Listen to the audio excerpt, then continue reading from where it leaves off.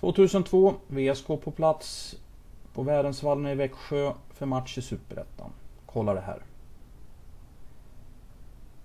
Ja, vad säger man? Det är ett av de vackraste VSK-mål jag har sett i alla fall.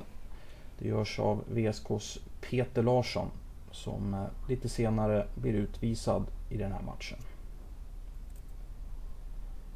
Öster har inspark och eh, här får de frispark.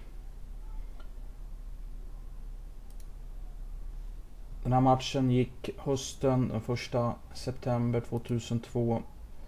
En mycket fin publiksiffra på Värensvallen. 4174 personer på plats i Superettan. Kommer frisparken.